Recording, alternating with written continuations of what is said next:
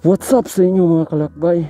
And wazak Ito nga pala ang inyong kalakbay James Katubig and welcome to my channel.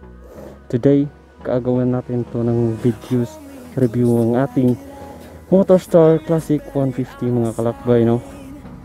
And meron lang tayong pupuntahan na isang lugar para mapag-displayhan natin at magawa natin ng review ng ating Cafe Racer So samahan nyo na kami Let's go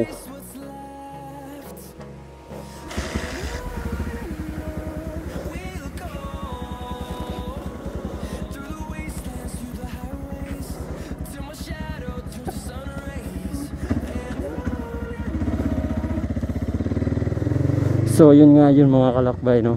Papunta na tayo sa ating paparoonan. Kung saan gagawa natin ng review ang ating motor na Classic 150. Hindi na tayo professional na gumagawa ng review about motor. Sadyang nagmumotor lang tayo mga kalakbay no.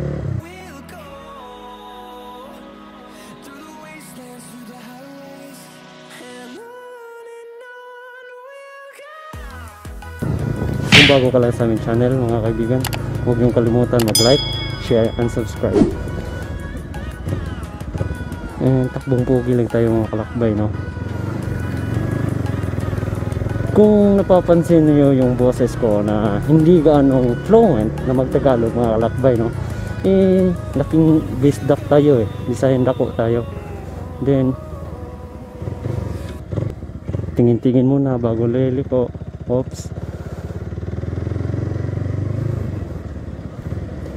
Dahan-dahan lang tayo dito mga kalakbay kasi parang off-road to.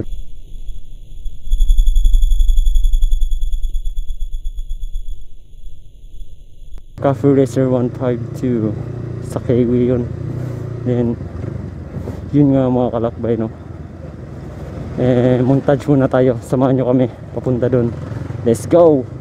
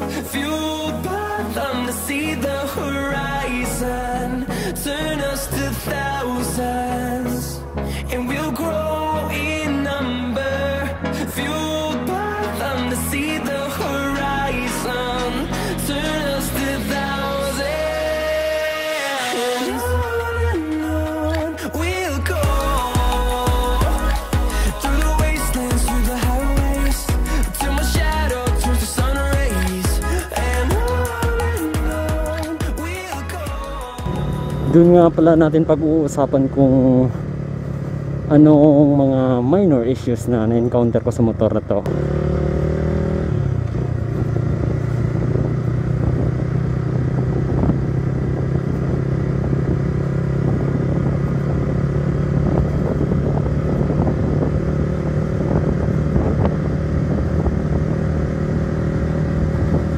eh sarap mag motor kapag nasa probinsya ka lang ganito ganito lang yung daan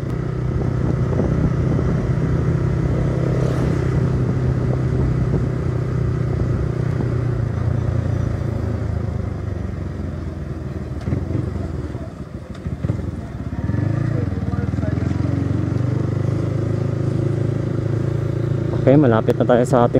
Huwag niyong kalimutan mag-like, share, and subscribe na lang po mga kalakbay para sa susunod maisama ko pa kayo sa ating paglalakbay no? Gagawan lang natin to after one month of using this coffee racer and kung ano yung mga minor issues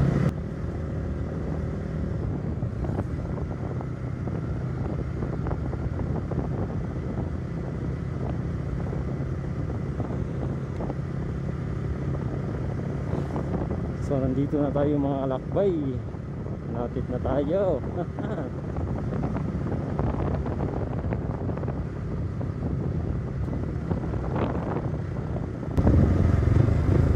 Okay, nandito na tayo mga kalakbay no? Tamang park lang tayo Para sa mga view.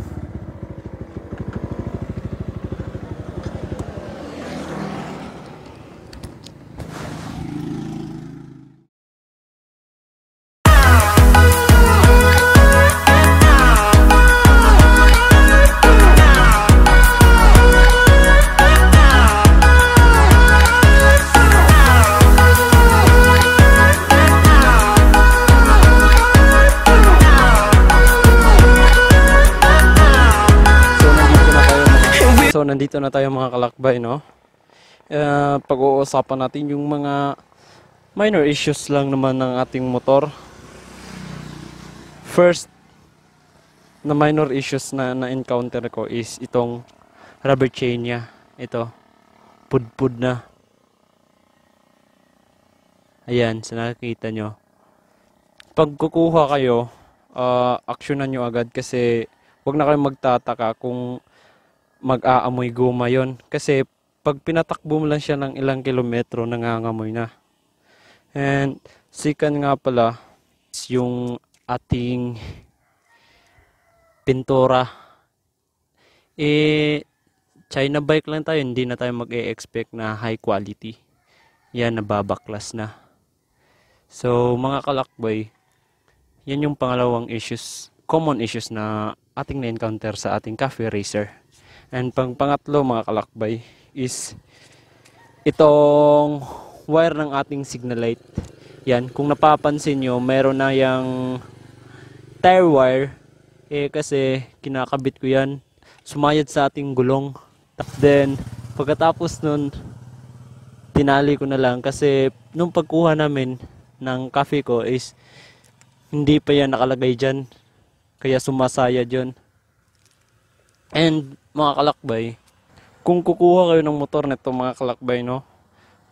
Para sa akin, okay na. Sa halagang 55,000, may cafe racer ka na. Kung kung napapansin nyo, wala pa akong minodified sa aking motor eh kasi bago pa nga lang eh, pag-ipunan muna natin para makabili din tayo ng ano mga pang modified natin kung magtatanong kayo bakit ito yung motor na kinuha ko, eh, hindi na tayo magtataka sa looks pa lang. And isa, nakaka-attract sa akin is yung bullet pipe. Napaka sobrang lakas.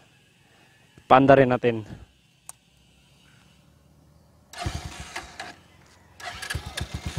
Ayun mga kalakbay. Napaka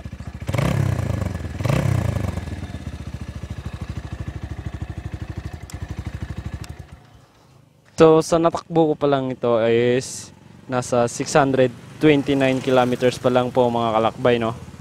Then para sa mga kababayan ko dyan sa may Nasipit, Agusan del Norte, eh, kuha na kayo sa Nasipit at Triangulo. Meron silang stock dun. And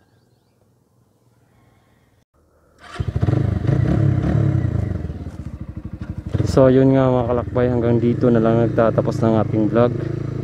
Eh, huwag niyong kalimutan mag-like, share, and subscribe.